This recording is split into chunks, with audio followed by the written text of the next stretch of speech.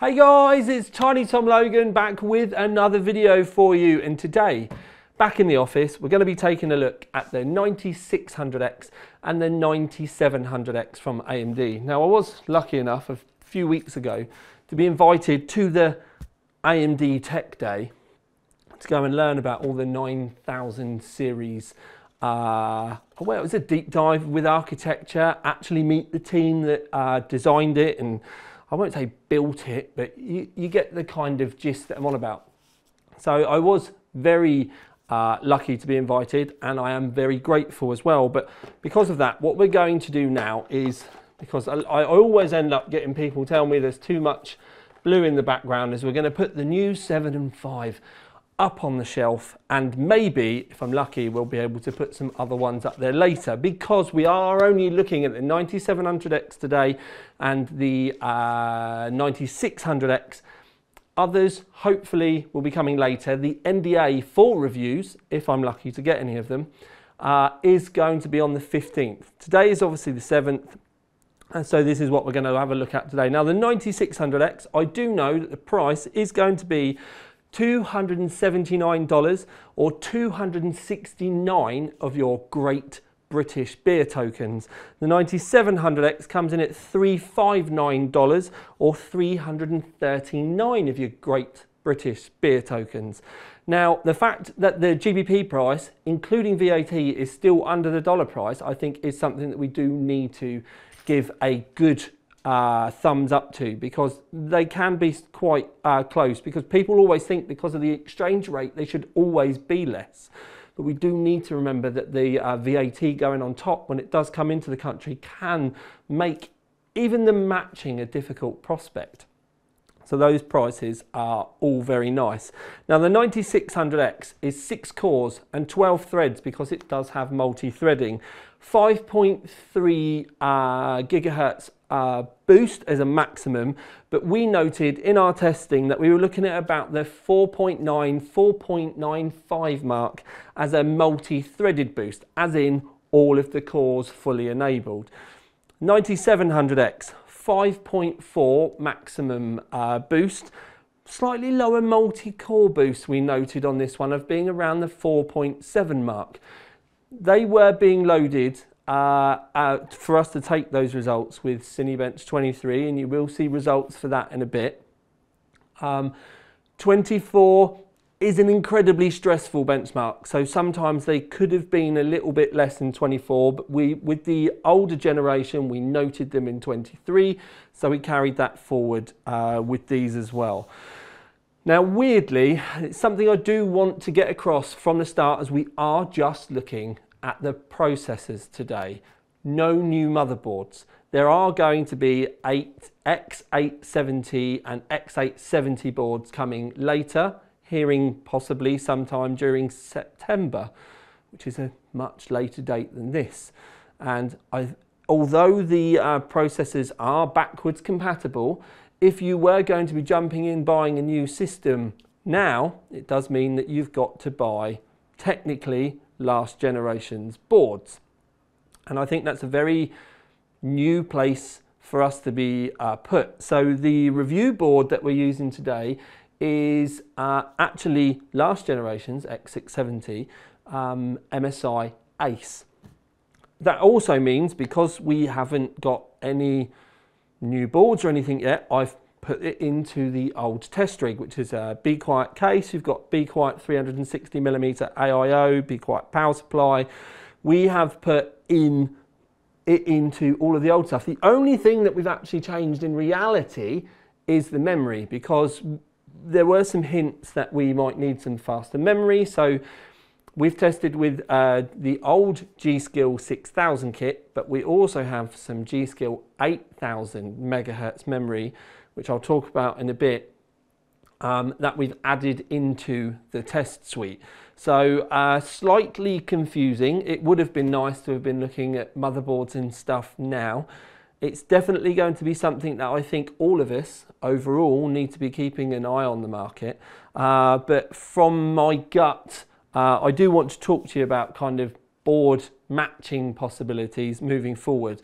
Now, uh, people are going to say straight away about um, uh, temperatures and stuff because the IHS, the bit of metal on the top of the processor, on this, they made it thicker so that it worked with the uh, older chips. That much material on the top does create problems, and the older gen were quite warm. Now, uh, when I was away, AMD did say they've done an awful lot of work trying to bring down the thermal resistance of the actual silicon itself. I think it was 15% less thermal resistance, which should equate to about 7 degrees less temperatures. Um, but the IHS itself, it's better, but it's still not perfect. And uh, as I will talk about with uh, the temperature graph, we're using a 360 millimeter Be Quiet AIO. It is not the latest and greatest 360. But neither do I expect somebody at home to be using the latest and greatest 360mm AIO when you're buying a high 200s or early 300s processor, unless it's something that you're just kind of bringing in from an old system. Let's face facts, Asus have got pro, uh, coolers out there that are more money than these processors. Uh, but you are going to need to invest in a good cooler to get the best from these. Now you'll see in the graph it didn't look too bad, but we were using OCCT and we've been using OCCT for a very long time. I'd actually go as far as to say OCCT is pretty much going to be what you can expect from a reasonable gaming session nowadays.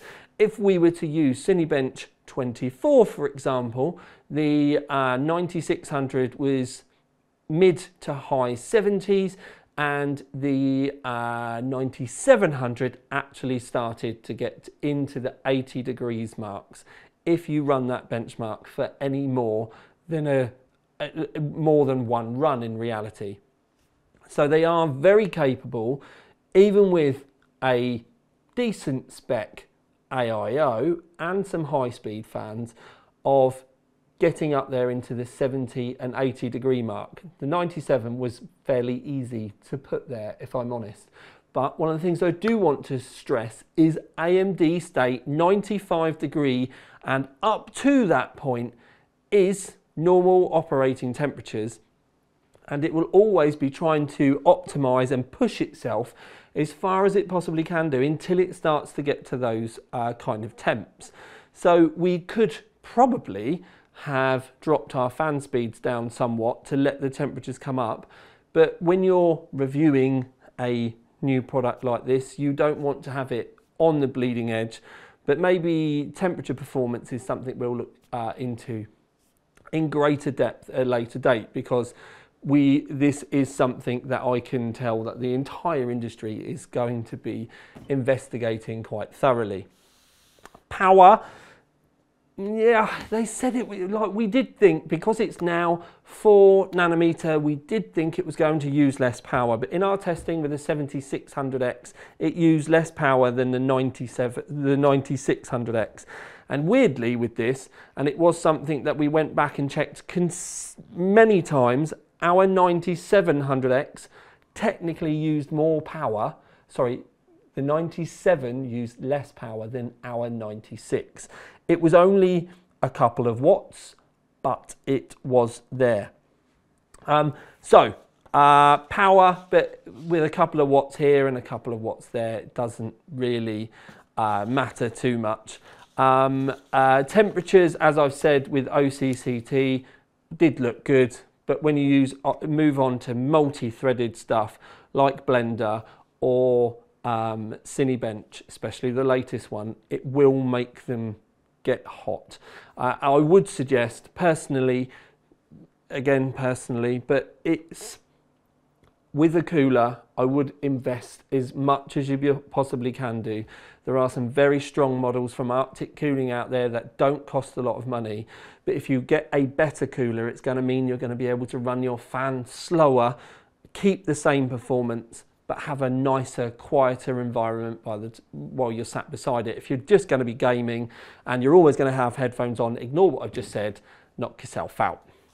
Now, performance, we did say Blender. Now, Blender, with these, both of these, massive improvement. You can literally see the um, uh, 97s there, it's kind of up there mixing with the 17900 X3D when you look how close they are together. But the steps down, it's like three minutes difference with the um, the 9700X. And then you are looking at a fairly similar sort of time. It's two minutes in reality, nearly three minutes with the 9600X. Now this is a uh, custom OC 3D blender. I think it's something retarded, like 7 million polygons. Um, it is a very, very stressful and long-winded blender run. It is not one of these quick ones that takes like 15 or 30 seconds. That is how many minutes it takes to do it. Now the big number is our 4K run, the smaller number is the 1080p run. So you can see how stressful this is on a system like this, uh, well on any system. Um, Cinebench R24, we haven't got many uh, results in this yet because we haven't been back and done lots and lots of back testing for this specific uh, one. We are just going to let it evolve over the next few years but these are the results that we've got for the 14,000s uh, and now the 9,000s. So you can kind of get in there, have a look, pick about. But I think something to remember is the 97 isn't the top flight processor. So we will get to see how this kind of compares later on. So with the Cinebench 23, that's the one that we want to have a look at. Big graph. You're going to need to get in there. You're going to need to pick it apart.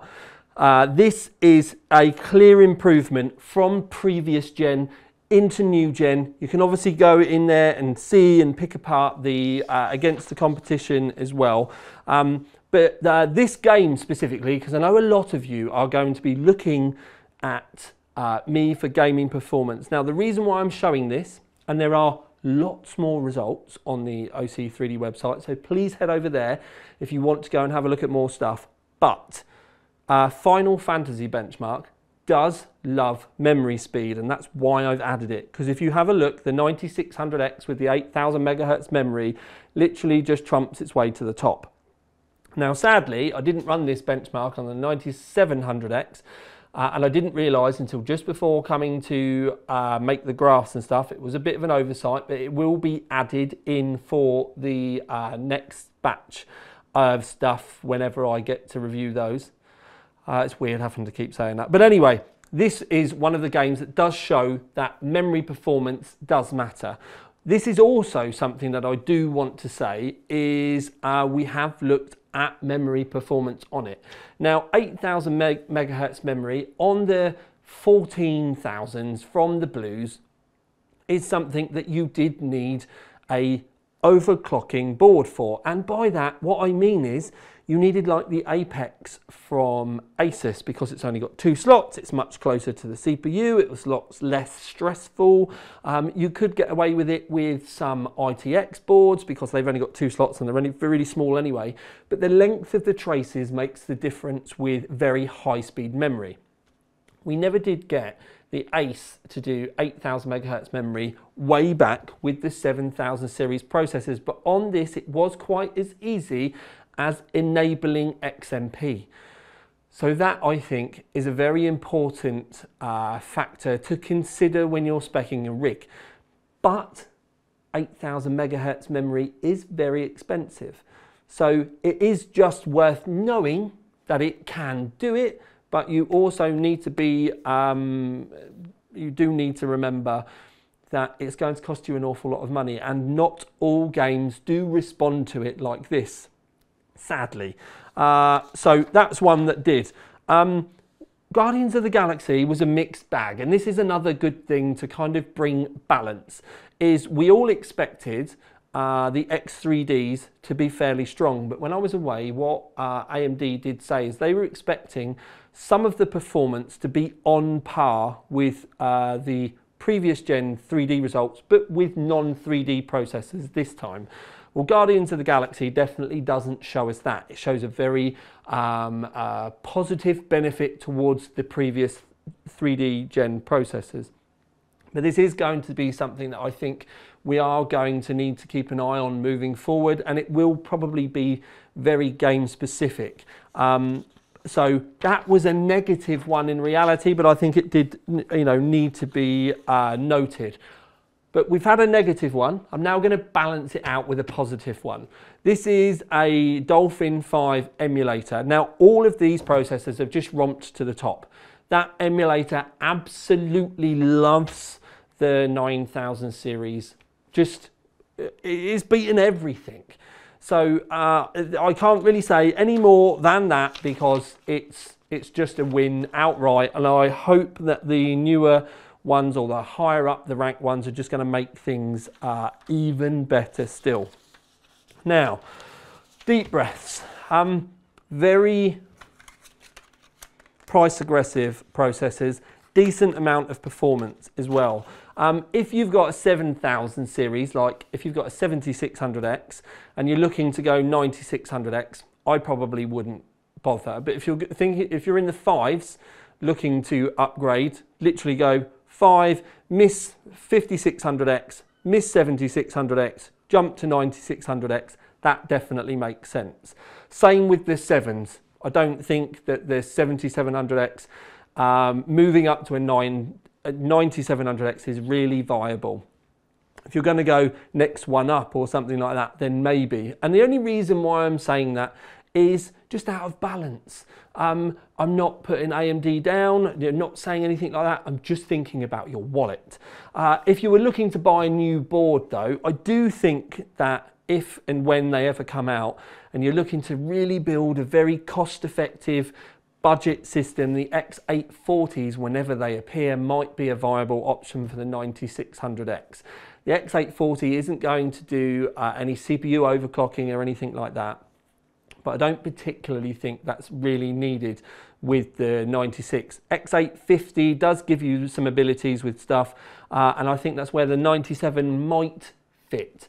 But I've just realised I haven't really spoken to you about overclocking. Um, and if you had a look in the graphs, what you'll see is we had some PBO um, uh, numbers and stuff like that, so precision boost overdrive. Now both of these processors are 65 watt parts and you can see by the results that there were some very decent positive changes for precision boost overdrive with the 9700X. I'm going to tell you now that the 9700X is so horrifically power limited that you just by enabling the Precision Boost Overdrive, it is an entirely different processor. They're literally strangling its neck when you fit it and just run it out the box. So please, please, if you buy a 9700X, make sure you enable Precision Boost Overdrive. It is one of those clickbait, horrible videos, free performance here, just do this. It is like that. Just as long as your cooler can cope, and I'm pretty sure it will be able to, but if your cooler can cope, enable Precision Boost Overdrive. If your cooler can't cope, then in time, your cooler is the thing that you want to upgrade. Get it on there, help keep that processor that little bit cooler, and it will boost and you are going to get such a healthy upgrade. It's for one click stuff, it's just a no brainer. Within the um, the software, yes, you can do auto overclocking and stuff like that, and there is some marginal benefits, but Precision Boost Overdrive literally is just click, done. You're not stressing anything out. It's just giving it that little bit more power to do what it wants. And in reality, that is exactly what it's doing. It's doing exactly what it wants once it's got enough power. Now, deep breaths, have a little drink of water, I wish I could, but really, really nice, positive things about the first two from the 9000 series processors. I look forward to hoping to get in my hands on the uh, higher core rating ones. Please remember, to like, subscribe and comment. If you've got to the end of the video, then you definitely deserve a cherry bakewell and you can tell me in the comments underneath. Please tell me if you like my review style, if you like the data. If you don't like the data, there is loads more on the website. Are you happy? We're back in the office. But I am going to thank you all for being here. Uh, there will be more videos uh, very soon and I'm looking forward to seeing what more AM Brie I am Brie. A little cheese on the brain. Um, Brie, get it? French? It's because I've been watching the Olympics. Um, what AMD brings to the table.